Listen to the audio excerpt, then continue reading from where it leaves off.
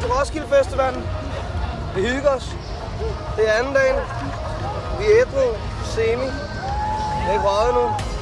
Det er godt for børnene. Og nu er vi her, vi er i Øst, og vi er på vej over til, til det der event, vi skal spille til Ghetto Blaster scenen. Oh, big kaka med big kaka! Woo!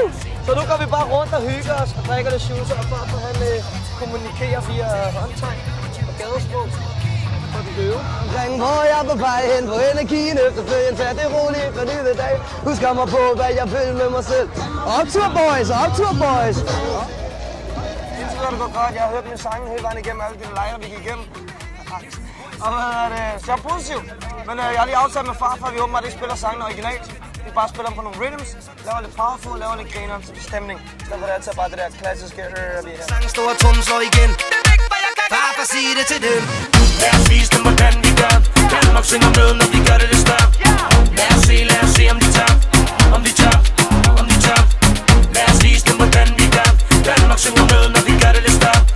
Lad os se, lad os se om de Om de om de Det er på tide, at vi rykker til top igen Når far kakker kommer, er der intet, der stopper dem? Vi tag